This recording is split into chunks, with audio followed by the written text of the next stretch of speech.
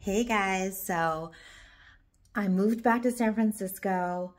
I'm restarting my yoga career here in the city and one of the things that I've been super into has been tarot cards, oracle cards. I know some of you may think I'm a weirdo. I know my husband thinks I'm a weirdo. but little secret, I got my daughter's name and I finalized my daughter's name based on tarot cards, okay? and what happened was I was like, okay, I came up with her name and then I was like, okay, God, angels, universe, tell me if this is right. And the card that came out, that popped out when I was saying her name while I was repeating it over and over in the oracle cards was a little small Bambi, a little small deer. And it described her. And so then that was how I decided my daughter's name. And then the other thing is how did we decide that we were going to build the next another level on our existing building in San Francisco versus buying a whole new house. I did tarot cards for that. Sorry, my hair, I'm getting distracted about my hair because I just worked out and I'm a little sweaty and it's all messy. But yeah, so anyways, I we were trying to decide whether to stay. Well, we already decided to stay in San Francisco, and then we were trying to decide if um, if we should build another level on our existing building, and or if we should just buy a whole new house and start fresh, and then and then lease out our top floor. So I decided it with tarot cards. I laugh because probably people are thinking like Ngan has lost it. But anyways, I decided with tarot cards, I was shuffling and I was like, hey, did my little um, ev evoking statement. And guess what? When I did the tarot cards, a pyramid popped out, a, a card with pyramids, okay? And I was like, what the hell does this mean? What the hell does this mean?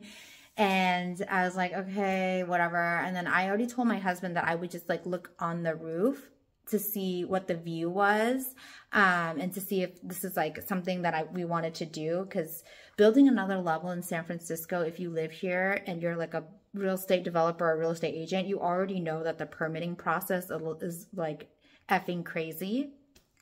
So if we were to build another level, it would have been like, you know, a lot more work, but we would get a cool view, right? So I know that the view we have is of the bridge and you can see the water, which is what I've always imagined that I wanted. So I already knew that, but I wanted to double check it before, you know, I concluded or told my husband what I thought.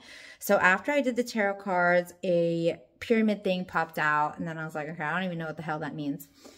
I walk up the I walk up the stairs and then I look around and there's a freaking Transamerica pyramid there.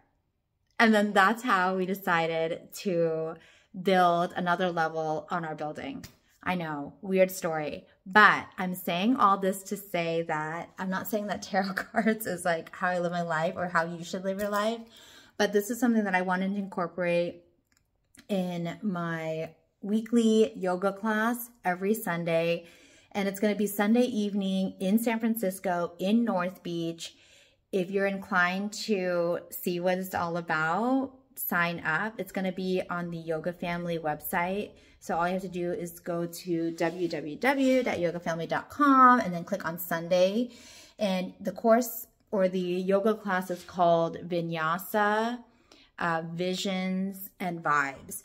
And what we basically would do is we would do kind of like a level one, two vigorous vinyasa flow. So you will sweat.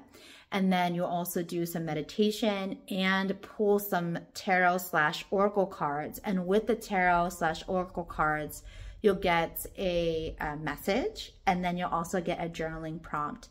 So this is something that I thought would be great every Sunday evening just so you can get your um, your mind, body, and spirit aligned for the upcoming week, especially if you're working, uh, or, maybe you're like working on manifesting something that you really want. So maybe every Sunday, this class will be your reset and to get really in tune to your innermost desires and your innermost potent energy. So if you want to join me, that will happen every Sunday in the evening, 5.30, and it'll be for an hour and a half. And yeah, okay, that's what I wanted to say. So like I was saying before, this is the view. You see, this is the Transamerica pyramid that was on the Oracle cards. This is the Bay Bridge and you can have a view of the water. And then you also have a view of the city.